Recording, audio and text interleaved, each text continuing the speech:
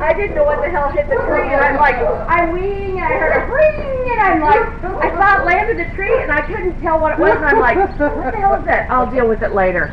I didn't know it was your little drone Is that thing. funny? That is hysterical. Like, it oh, just fell from the sky. I like Oscar. Oh shit! well, at least it was here. yeah, well, thank you. That's funny. But I heard